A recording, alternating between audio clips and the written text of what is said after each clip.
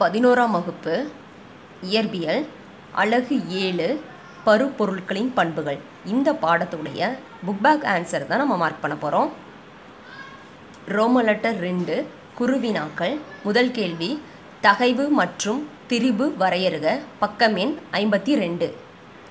ஐம்பத்தி ரெண்டாவது பக்கத்தில் ஓரலகு பரப்பில் இதிலிருந்து ஸ்டார்ட் பண்ணி ஆகும் இதுவரைக்கும் ஒன்றாவது கேள்விக்கான ஆன்சர் அதில் ரெண்டு கேள்வி கேட்டிருந்தாங்க தகைவு. அதுக்குள்ள ஆன்சர் தான் இது. திரிபு வந்து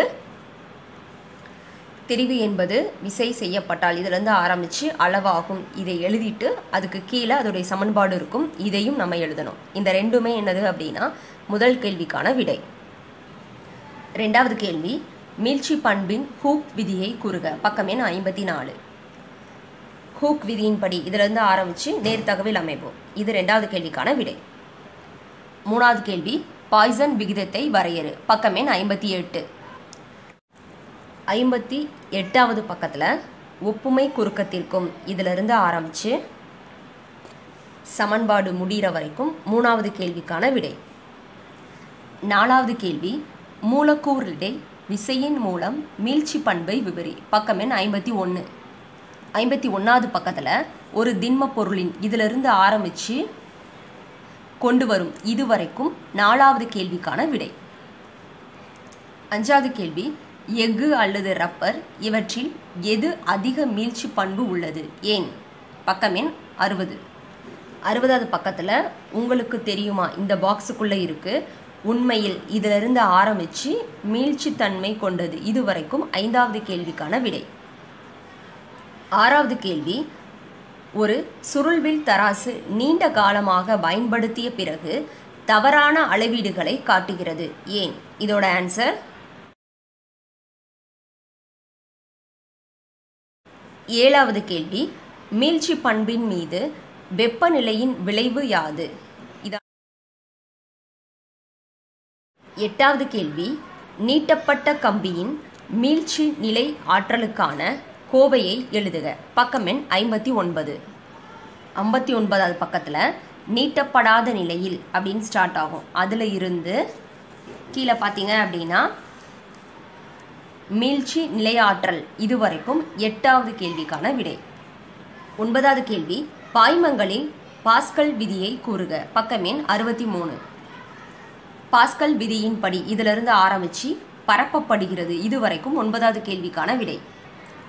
பத்தாவது கேள்வி. ஆர்கிமிடிஸ் தத்துவத்தை கூறுக. பக்கம் எண் அறுபத்தி நாலு பொருள் ஒன்று. இதிலிருந்து ஆரம்பித்து திரவத்தின் எடை இதுவரைக்கும் பத்தாவது கேள்விக்கான விடை.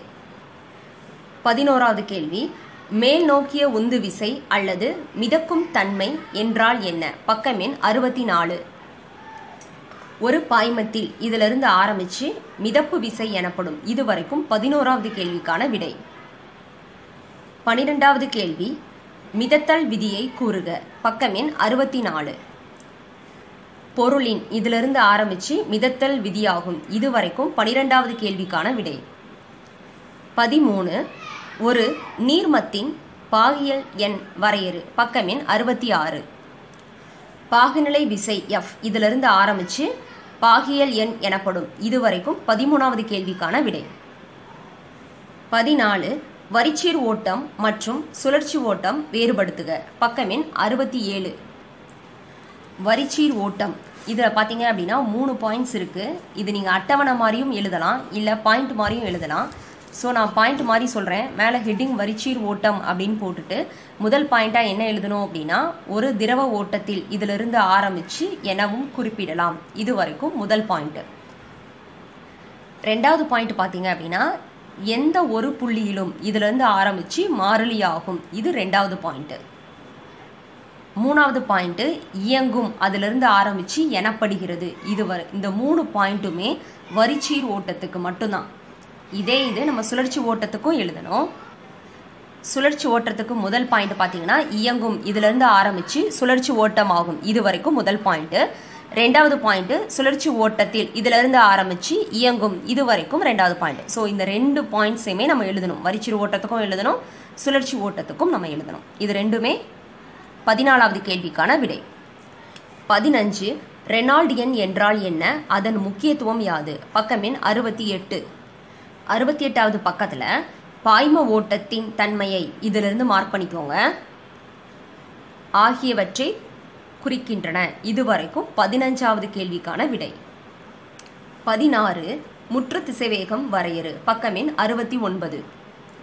ஒரு பாகுநிலை ஊடகத்தில் இதிலிருந்து ஆரம்பிச்சு முற்று திசைவேகம் எனப்படும் இதுவரைக்கும் பதினாறாவது கேள்விக்கான விடை. பதினேழு ஸ்டோக் விசைக்கான சமன்பாட்டை எழுதுக.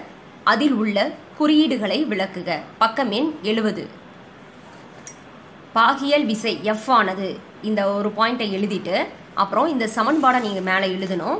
எஃப் சீக்வல் டு அப்படின்னு இந்த சமன்பாடை எழுதி முடிச்சுட்டு அதுக்கப்புறமா இந்த கீழே எழுதணும். மூணு பாயிண்ட்டையும் எழுதணும். இது வரைக்கும் பதினேழாவது கேள்விக்கான விடை. பதினெட்டு பெர்னாலின் தேற்றத்தை கூறுக. பக்கம் எண் எண்பத்தி மூணு.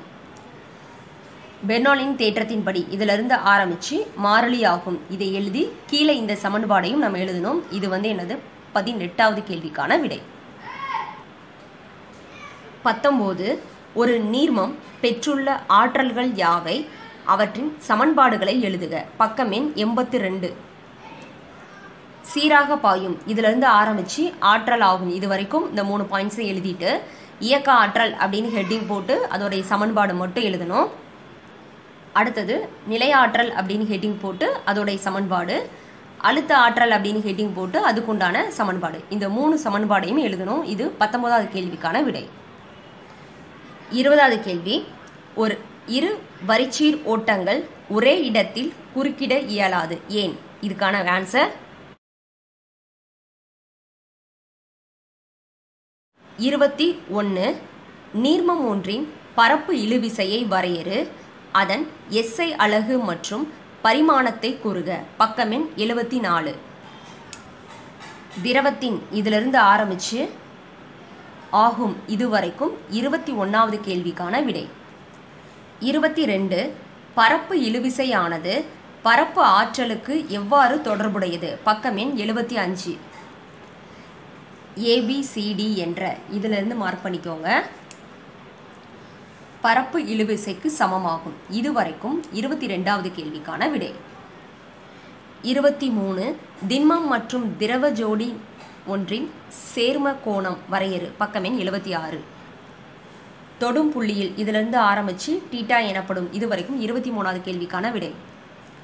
இருபத்தி நாலு ஓரின மற்றும் வேரின கவர்ச்சி விசைகளை வேறுபடுத்துக பக்கம் எண் எழுபத்தி ரெண்டு ஒரு திரவத்தில் இதிலிருந்து ஆரம்பித்து பெறுகின்றன இதுவரைக்கும் இருபத்தி நாலாவது கேள்விக்கான விடை. இருபத்தி அஞ்சு நீர்மத்தின் பரப்பு இழுவிசையை பாதிக்கும் காரணிகள் யாவை பக்கம் எண் எழுபத்தி மூணு மாசு பொருட்கள் இதிலிருந்து மார்க் பண்ணிக்கோங்க. அடுத்த பக்கத்தில் குறைகிறது இதுவரைக்கும் இருபத்தஞ்சாவது கேள்விக்கான விடை. இருபத்தி ஆறு ஒரு சோப்பு குமிழுக்குள் காற்று ஊதப்பட்டால் அதனுள் உள்ள அழுத்தம் என்னவாகும்? இதுக்கான ஆன்சர் இருபத்தி ஏழு நுண்புலை நுழைவு அல்லது நுண்புலை செயல்பாடு என்றால் என்ன? பக்கமேன் எழுபத்தி ஒன்பது. ஒரு நேர்குத்தான இதிலிருந்து ஆரம்பித்து கீழிறங்கும். இதுவரைக்கும் இருபத்தி ஏழாவது கேள்விக்கான விடை. இருபத்தி எட்டு நீரின் பரப்பில் வைக்கப்பட்டும் வைக்கப்படும் எண்ணெய் துளியானது பரவுகிறது. ஆனால் எண்ணெயில் வைக்கப்படும் நீர்த்துளி கோலக வடிவில் சுருங்குகிறது. ஏன்? இதுக்கான ஆன்சர்